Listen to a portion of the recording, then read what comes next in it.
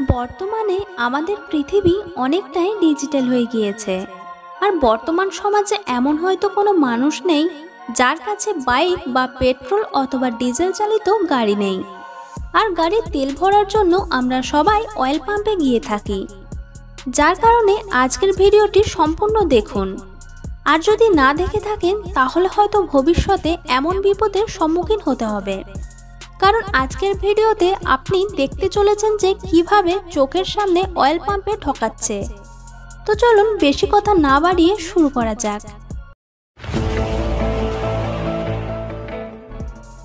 একটু ভালো করে দেখুন এই ভিডিওটি। পেট্রোল ঠিক তখনই চুরি হয় যখন আপনার ধ্যান অন্য কোথাও থাকে। আপনার এই অন্যমনস্ক সুযোগ নেই পেট্রোল পাম্পের কর্মচারীরা মিটারের যে কোনো রিডিং থেকেই পেট্রোল ভরা শুরু করে দেয়। আর যেটা আসলে জিরো থাকা উচিত। পেট্রোল পাম্পের বেশিরভাগ ক্ষেত্রেই কর্মচারীদের একজন পেট্রোল ভরেন এবং অন্য একজন টাকা আদায় করেন। অবাক করা বিষয় হলো যে যে কর্মচারীটি পেট্রোল ভরেন, তিনি আপনাকে জিরো আছে কিনা চেক করে নিতে বলেন। আর সেই সময় ক্যাশ গ্রহণকারী ব্যক্তি আপনাকে অন্য কোনো কথাই ভুলিয়ে নেয়। আর ঠিক সেই সময়েই পেট্রোল প্রদানকারী ব্যক্তি কিছুক্ষণের জন্য পেট্রোল ভরা বন্ধ করে দিয়ে আবার অন্য কোনো রিডিং থেকে ভরা শুরু করে দেন। ধরুন, আপনি হাজার টাকার পেট্রোল ভরাচ্ছেন। পেট্রোল প্রদানকারী কর্মচারী কোনো এক রিডিং পর্যন্ত এসে পেট্রোল ভরা একেবারেই বন্ধ করে দেয়।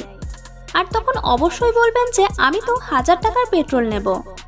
আর সেই সময় পেট্রোল প্রদানকারী ব্যক্তি বাহানা করে বলেন যে, আমি তো আপনার কথা শুনতেই পাইনি। আর এটা বলেই তিনি মেশিনের কাছে গিয়ে অন্য কোনো এক রিডিং থেকে পেট্রোল ভরা শুরু করে দেন। সাধারণভাবে মানুষ পঞ্চাশ, একশো, দুশো, পাঁচশো থেকে হাজার টাকার ভরেন। আর এই কমন টাকাতে টেকনিকভাবে সেটিং করে রাখা হয়।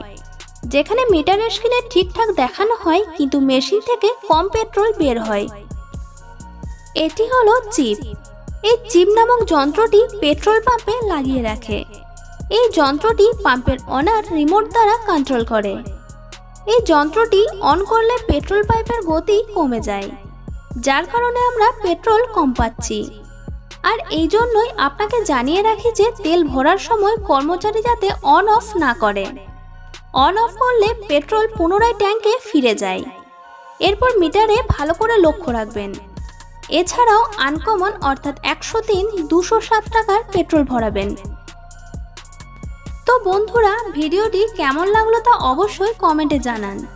আর ভিডিওটি ভালো লাগলে লাইক করুন এবং শেয়ার করে অন্যজনকে জানার সুযোগ করে দিন। তো দেখা হচ্ছে পরের ভিডিওতে। ভালো থাকবেন, ধন্যবাদ।